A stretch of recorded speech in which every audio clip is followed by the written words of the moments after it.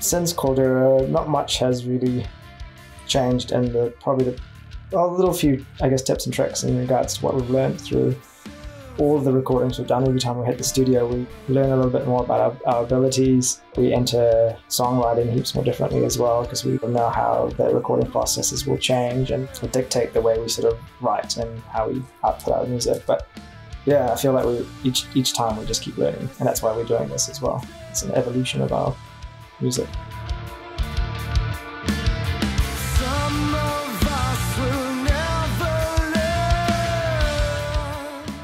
with a lot of the lyrics in Eldur, it stemmed from my growth and my uh, the way I feel about things, certain things in society, uh, whether it's the way social media impacts people's lives uh, through mental health, uh, the way uh, friendships and um, personal, just personal growth is um, sometimes hindered by social media and other sort of aspects of distractions in life.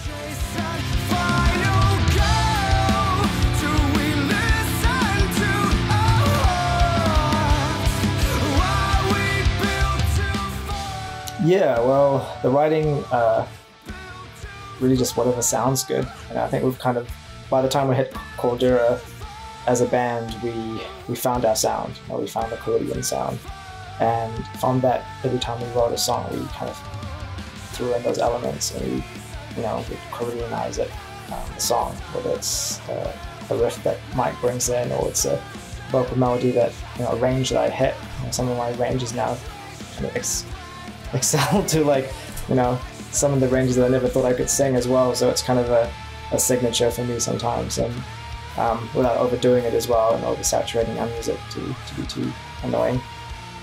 Dogs barking in the corners.